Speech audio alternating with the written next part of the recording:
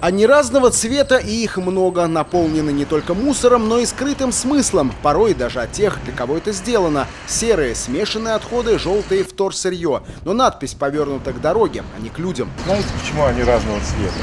Я не знаю, не знаю. Нет.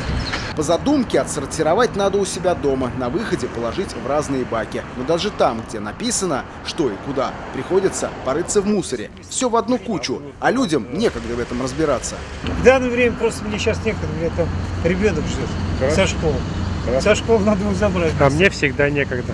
А? А мне всегда некогда. Ну, вы, у вас работа такая.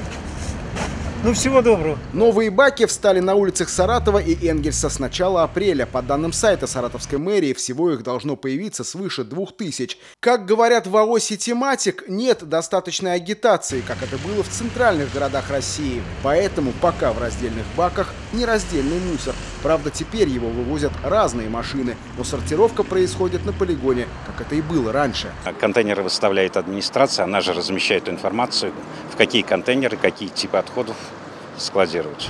Выбор цветов э, вот этих вот ярких, это совместная идея или это выбор мэрии? Э, Это не выбор, наверное, мэрии, это совместный выбор мэрии и Министерства природных ресурсов, которые курируют данный вопрос.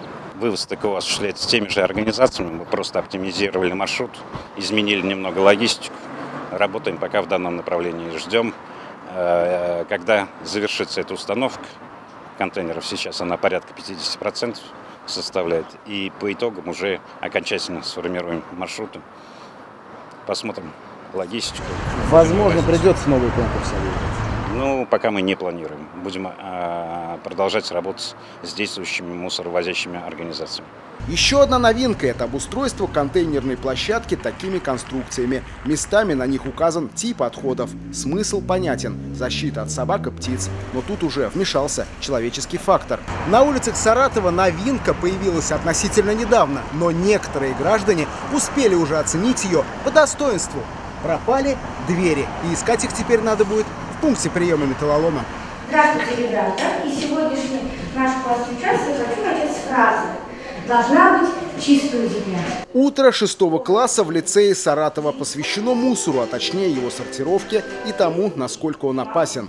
Упаковочная бумага разлагается 2 года, текстиль 3 года, батарейки 10 лет. А это те самые мусорные контейнеры в миниатюре и на школьных партах. Детям дают возможность наглядно разобраться в понятиях вторсырье и смешанные отходы. Всем. Ребят, куда это? Лицей «Солярис» – участник пилотного проекта, где в программу входит обучение разделять бытовые отходы не только в классе. Всего таких школ 8. Это экскурсии на мероприятия по переработке мусора, это различные акции и практическая часть. То есть в скором времени на территории лицея «Солярис» появятся специальные контейнеры для разбельного сбора мусора. И мы как раз внесем свой вклад в сохранение экологической системы не только России, но и всей планеты Земля. И вот когда будет сформировано осознанное отношение, тогда и будет порядок.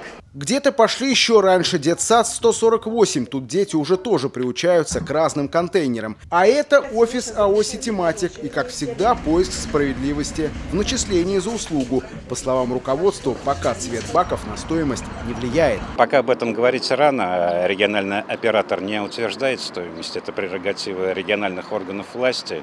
Но как мы уже раньше проводили эксперимент в Волжском районе, вы понимаете, что у нас возрастают пробеги у мусоровозов, э, увеличивается количество смен, а говорить о повышении или снижении э, стоимости можно будет уже по итогам внедрения.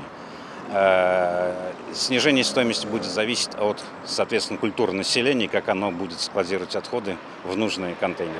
По мнению общественника Андрея Крупина, тема эта очень актуальна, но и самому ситематику нужно было провести сортировку среди компаний, вывозящих мусор. с вывозом происходит не очень хорошая вещь. Сейчас я это тоже обратил. Не только по городу Саратова, но и также еще смотрел и в район.